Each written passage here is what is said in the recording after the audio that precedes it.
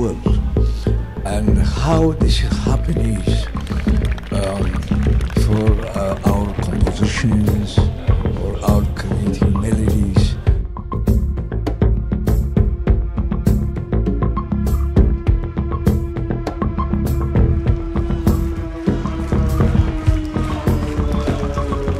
Lovely people. Thank you. Thanks a lot. We love you. Wonderful festival. Wonderful place. We're lucky.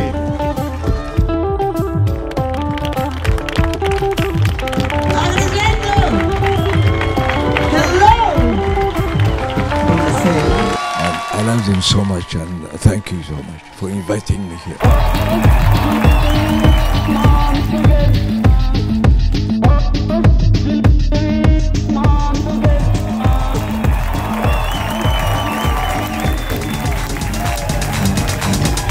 This project is called Tomorrow Come the Harvest. And we are here to play whatever we feel. So I'm not like other artists that feel special when people come and see me. Because I know only the people are special. So I feel honored that you come and spend your special time with me tonight. Thank you very much for coming out.